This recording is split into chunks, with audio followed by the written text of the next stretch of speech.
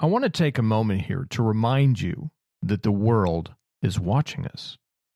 The world is waiting for Christians to slip up so that they can point the finger. They are itching to call Christians frauds or delusional, and they have good reason. Think about it.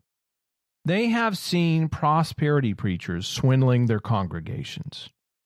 They've seen faith healers go to prison for fraud. They've seen pastors lead their people to mass suicide.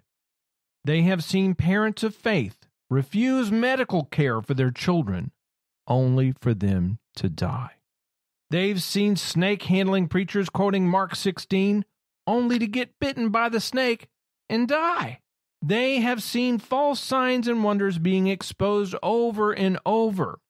They've seen pastors faking resurrections. They have seen pastors tricking their congregation into eating snakes. This list could go on and on. Recently, they've seen pastors brag about how God is going to protect them from the coronavirus, only to die later from the coronavirus. The world is watching. Now, this is the type of stuff that drove me away from Christianity. I thought Christianity was a bunch of weak minded sheeple being taken advantage of by swindlers and scammers. This is until I had my personal encounter in 1995. Since my encounter in 1995, I've realized that there's a difference between knowing about Jesus, maybe even being familiar with the text, and having a personal relationship with Jesus. When God shows up to a person personally in an encounter, there is no debunking it.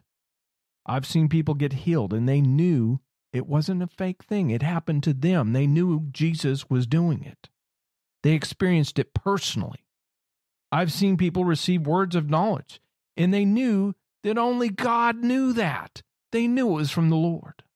I've heard numerous testimonies of how Jesus saved people when no one else was in the room, kind of like me.